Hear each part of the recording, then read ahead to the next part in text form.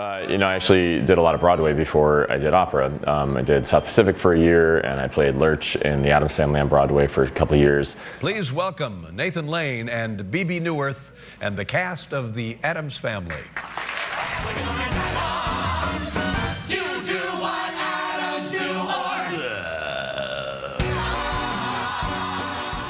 Um, and then kind of launched into an operatic career.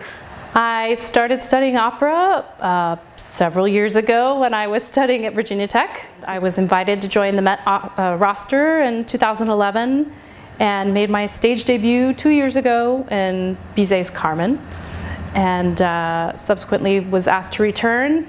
I started with Nabucco, with Verdi's Nabucco, which is not done all that often.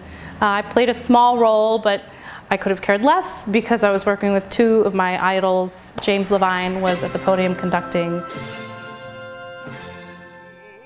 And Placido Domingo was singing the title role of Nabucco.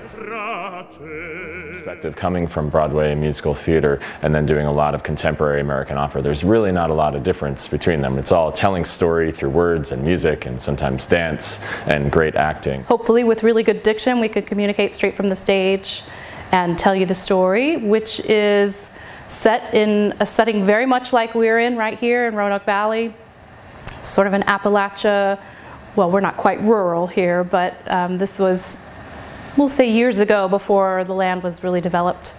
And uh, yeah, it really draws you into the community and to the people involved in the community. It's a, it's a very small microcosm space, and um, it's a compelling story. With an opera like Susannah and many new American works, the audience can just come in the door and sit back and enjoy and you know uh, relate to a story in their native language.